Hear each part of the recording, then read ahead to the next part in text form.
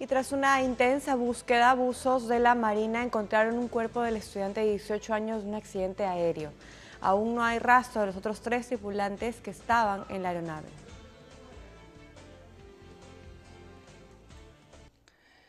Después de casi un día del accidente aéreo de una avioneta de instrucción con cuatro tripulantes a bordo en el mar de Huanchaco, los buzos de la Marina de Guerra lograron el rescate del cuerpo sin vida de Fabián Hernández Barba, estudiante de 18 años de la Academia de Aviación JBC. Ella fue encontrada a 10 millas náuticas al noroeste del punto de caída. El rescate del cadáver estaba a cargo de la Marina de Guerra, con dos buzos profesionales ¿no? La Fuerza Aérea tiene un avión con equipos muy especiales, con cámaras de alta resolución y sensores.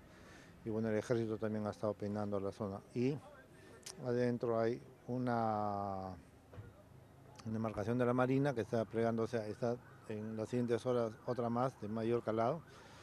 Y esperemos, si esta noche hay novedades, inmediatamente nos vamos a constituir. Como ustedes entenderán, Entendemos el drama que se está pasando por parte de la familia. Quisiéramos darle más noticias, pero no podemos, no tenemos más, ¿no? Eso es lo oficial, eso es lo formal en este momento. Los familiares de los cuatro desaparecidos estuvieron en la espera de mayor información en el interior del aeropuerto Carlos Martínez de Pinillos. Hipólito Cruchaga confirmó que un tripulante no fue consignado en el reporte de la Escuela de Aviación.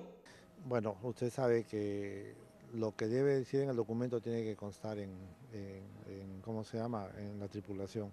No sé qué puede haber pasado, ¿no?, para que haya cuatro personas. ¿Esto debe ser verificado en el aeropuerto? Claro, eso tiene que ser, por eso hay una autoridad de la aeronáutica civil que ya toma cartas en el asunto, yo les pediría más bien que hay que comunicarse con ellos, ¿no?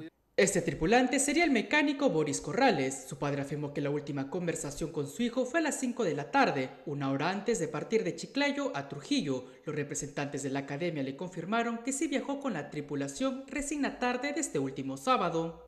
No, no, el señor me ha llamado a las 3 y media de la tarde, recién, y le digo, dice que no figura mi hijo ahí en la, en la que se llaman los tripulantes, no figura. No, me dice, ese es falso, está ahí, ahí está, sino que la información lo hemos dado. Pero yo, le digo, estoy viendo ahí que me, cuentan eh, lo que están viendo en las noticias que no figura. ¿Su hijo ¿Ah? laboraba para esta empresa, para esta academia de aviación? ¿Cómo? ¿Desde cuándo laboraba su hijo en esta empresa?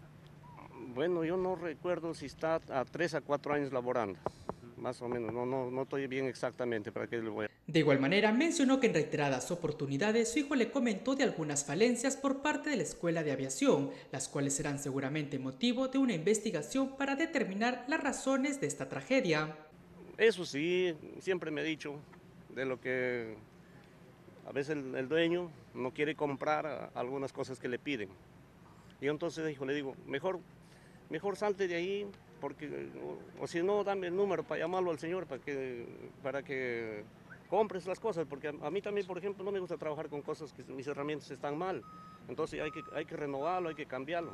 El señor, no, no déjale, déjale, él es duro, dijo, ¿qué va a comprar si uno le dice, le está diciendo, lo hemos dicho varias veces, pero no compra. ¿Qué tipo de, los familiares del piloto chiclayano Santiago Aldaz llegaron desde la ciudad de la Amistad a Trujillo en búsqueda de mayor información. Sin embargo, prefirieron no declarar ante la prensa. Todo lo contrario ocurrió con la familia y pareja de May Jiménez de 19 años, estudiante que tenía el sueño de ser un piloto comercial. Su enamorada Natalie de 5 años de relación se preocupó porque después de las 7 de la noche no respondió más mensajes.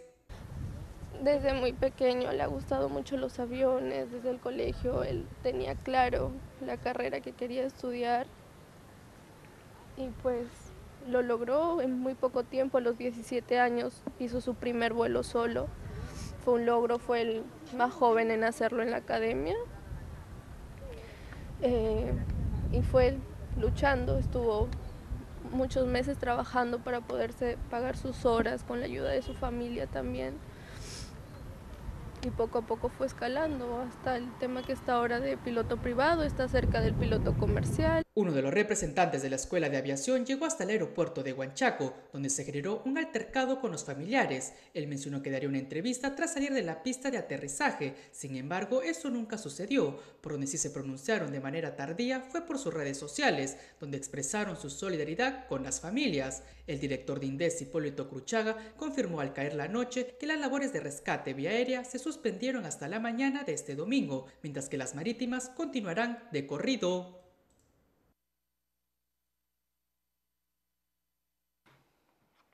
Esperemos que las tres personas restantes eh, se puedan ubicar en lo más pronto posible, en la brevedad eh, del día, porque ya llevan tres eh, de estos días que aún no son ubicadas y el trabajo de la Marina de Guerra está siendo muy, muy intensa. Vamos a cambiar el tono de la información.